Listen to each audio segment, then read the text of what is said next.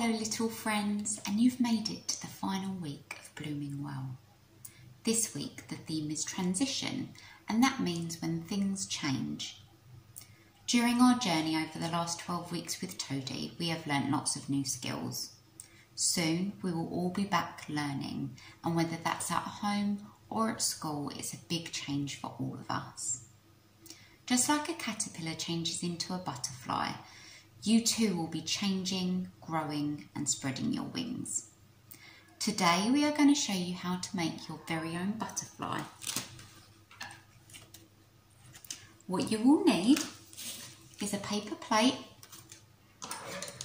some scissors, some glue, a lolly stick,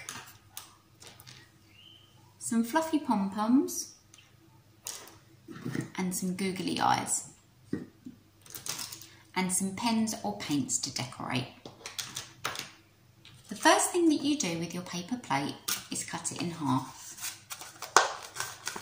I'm going to fold mine first.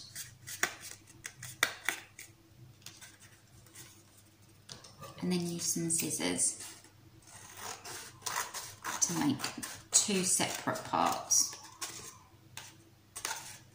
Don't forget to ask a grown-up for help if that bit's too tricky.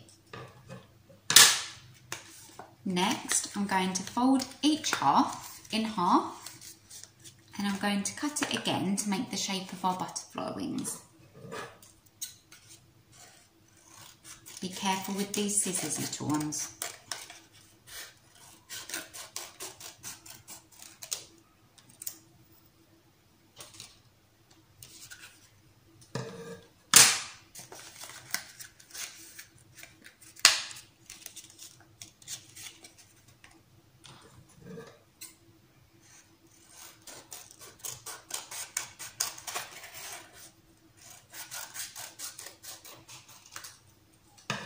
Once you have the shape of your wings, it's time to decorate.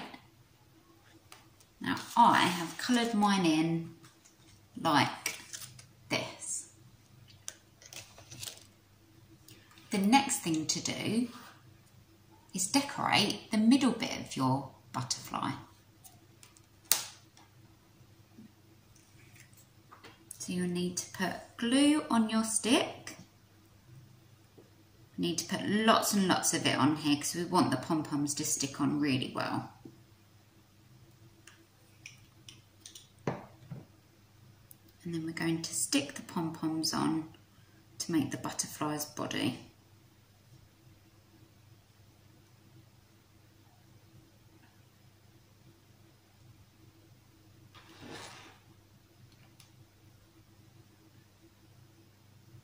You'll also need to stick on some eyes and some antennae. And once you are done, the middle of your butterfly is going to look like this, like a little caterpillar.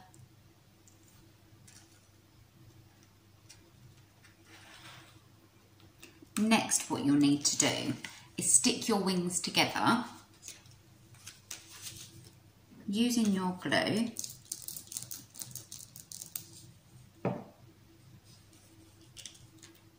like this. And then stick the body of your butterfly on top.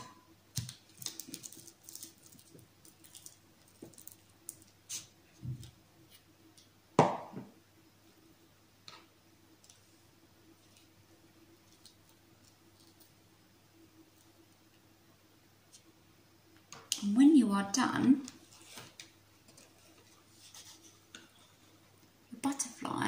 look like this.